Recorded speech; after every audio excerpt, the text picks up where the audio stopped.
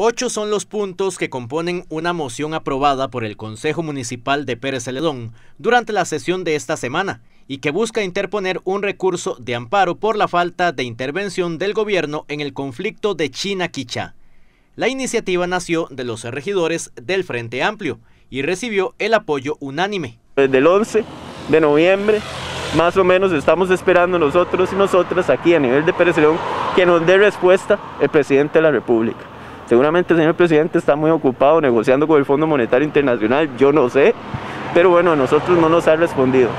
Eh, ante esta realidad, eh, como, como, fracciones de oposición, nosotros presentamos una, una moción el pasado martes solicitando al Consejo ¿verdad? que se le diera instrucciones a la asesoría legal para que presente un recurso de amparo por la no respuesta del gobierno y de alguna forma seguir haciendo presión en algo que consideramos necesario. El acuerdo fue solicitar a la asesoría legal de este Consejo Municipal o a quien corresponda realizar gestiones para interponer un recurso de amparo ante el gobierno de la República debido a la ausencia de respuestas a la solicitud planteada también por el Consejo desde noviembre del año pasado.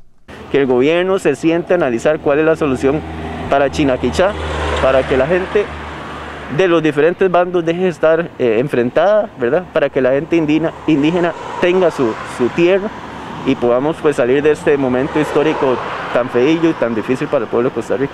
Tener el apoyo de todo el Consejo en una gestión como esta es uno de los aspectos que más destaca Robles. El Consejo en pleno tendría que presentar el pleno como, como órgano eh, a partir de ese acuerdo que se logró tomar, ¿verdad? Es muy importante, usted sabe que este consejo es un consejo que es difícil que tenga consensos, ¿verdad? Nueve votos en, una moción o algo es importante.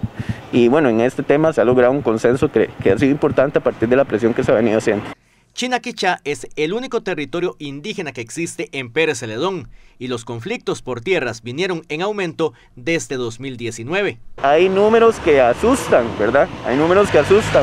Por ejemplo, el Frente Nacional de, de Indígenas, ¿verdad? El Frente Nacional de Indígenas el Consejo Nacional de Pueblos Indígenas a nivel nacional nos dice cuánto del territorio eh, ubicado en zonas indígenas está en manos de personas indígenas. Y en el caso de Chinaquichá, estamos hablando de las mil y resto de hectáreas, que no es un territorio más grande, no es el más grande del país, es un territorio la verdad que bastante pequeñito. De las mil hectáreas, resulta que está en manos indígenas apenas un 1% del territorio hasta hace unos años, a partir de las recuperaciones que han venido teniendo, ¿verdad?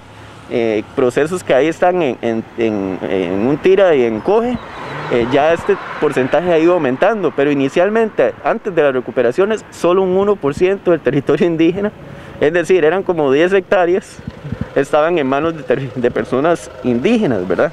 En este noticiero, el presidente de la ADI de esta comunidad también dejó claro que existe un abandono por parte de las autoridades gubernamentales.